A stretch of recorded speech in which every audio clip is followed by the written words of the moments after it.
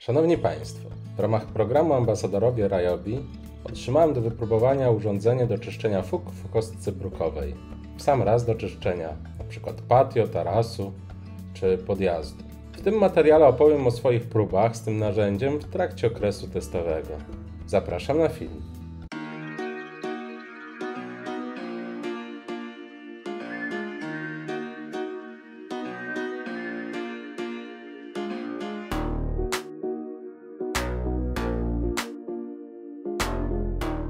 Narzędzie dostępne jest w dwóch wariantach wyposażenia. Jako samo urządzenie lub, tak jak w tym przypadku, w zestawie z baterią 2Ah i ładowarką. W pudełku znajdujemy główną część narzędzia z trzonkiem prowadzącym i napędem, moduł z zainstalowaną szczotką drucianą oraz moduł ze swobodnie obracającym się kółkiem. Zapewnia on stabilizację urządzenia w trakcie pracy. Mamy też dodatkowy uchwyt na drugą rękę, przyczepiony do niego klucz imbusowy oraz instrukcję. Przygotujmy zatem urządzenie do pracy. Najpierw montuję dodatkowy uchwyt. W tym celu wystarczy wsunąć ucho w widełki, a przez otwory przeprowadzić śrubę motylkową i ją dokręcić, blokując uchwyt w odpowiedniej pozycji. Oczywiście cały czas możemy dostosowywać kąt pochylenia tego dodatkowego uchwytu w zakresie prawie od 0 do 180 stopni względem trzonka. Wystarczy poluzować śrubę motylkową, przestawić uchwyt i dokręcić ją z powrotem. Następnie na dole mocujemy moduły ze szczotką i kółkiem. Niestety, szczotkę można umieścić tylko po jednej stronie, bo tylko tam jest możliwe przeniesienie napędu. Ma to niestety konsekwencje, jeśli chodzi o dostęp do fug przy ścianach w pobliżu narożników. Z drugiej strony trafia swobodnie obracające się kółko. Montaż i demontaż obu modułów jest bardzo prosty dzięki zastosowaniu odpowiednich zatrzasków. Oczywiście drucianą szczotkę możemy wymienić, gdy się zużyje lub gdy uznamy, że bardziej odpowiednią do naszych zastosowań będzie szczotka nylonowa. Zwłaszcza jeśli obawiamy się, że moglibyśmy zarysować zanadto powierzchnię tarasu.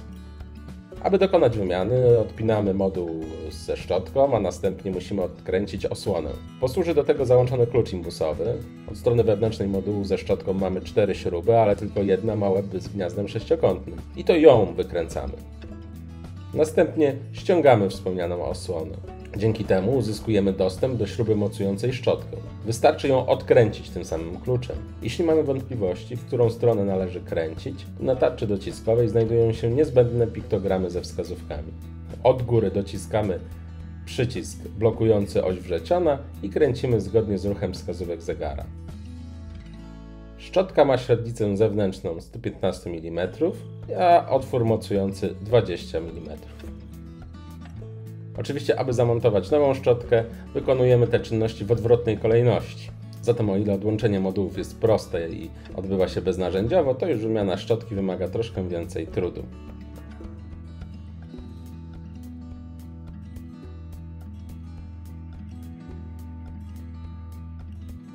Na koniec w rękojeści montujemy akumulator. Warto zauważyć, że zastosowano podwójny włącznik urządzenia. Nie wystarczy samo wciśnięcie spustu. Urządzenie uruchomi się dopiero, gdy jednocześnie dociśnięty jest też przycisk na zewnętrznej części rękojeści. Rozwiązanie to jest o tyle wygodne, że gdy trzymamy narzędzie w ręce, nasza dłoń automatycznie dociska ten dodatkowy włącznik, a zatem działaniem sprzętu sterujemy z wykorzystaniem samego spustu. Gdy zaś odkładamy urządzenie, nie włączy się ono przypadkowo przy niezamierzonym wciśnięciu jednego z tych włączników. Urządzenie nie sprawia wrażenia bardzo głośnego, a generowany hałas nie był dla mnie irytujący Niemniej jednak według producenta jest to prawie 83 dB, co potwierdzi test moim decibelomierzem. Mimo wszystko zalecam stosowanie ochronników słuchu.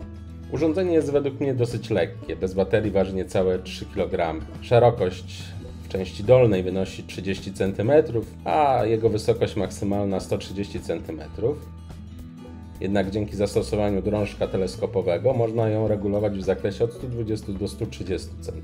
W tym celu trzeba odciągnąć zacisk na trzonku, wysuwając lub wsuwając drążek ustawić pożądaną długość, a na koniec na powrót zamknąć zacisk. Przyznam jednak, że miałem wrażenie, że dla mnie, mierzącego 186 cm, trzonek mógłby być ciut dłuższy. No to czas na posprzątanie tarasu. Widać, że jest na nim troszkę pozostałości po zabawach kredą, a w szczelinach pojawiły się też mniejsze i większe kępki trawy oraz chwast.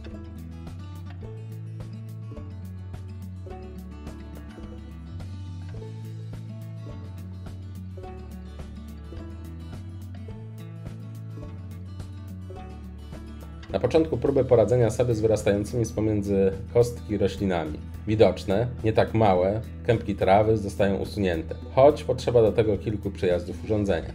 Sama praca narzędziem wymaga moim zdaniem odrobiny wprawy, gdyż przynajmniej w moim odczuciu ma ono tendencję do skręcania, zwłaszcza gdy w fugach pojawiają się np. chwasty.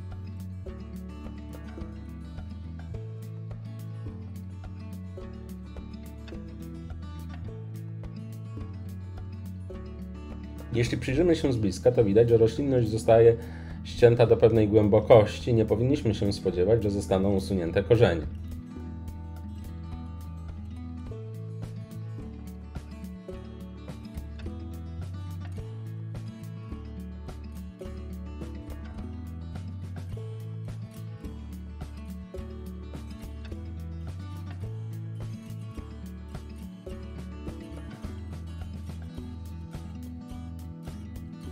Mimo osłony wokół szczotki, można urządzeniem efektywnie pracować nawet przy ścianie. Problematycznymi okazują się dopiero lokalizacje w niektórych narożnikach ze względu na to, że szczotka druciana może być instalowana tylko po jednej stronie urządzenia. Oczywiście narzędzie to nie będzie radzić sobie ze zbyt przerośniętymi chwastami, które należy usunąć ręcznie. Również gęste kępki traw mogą stanowić wyzwanie.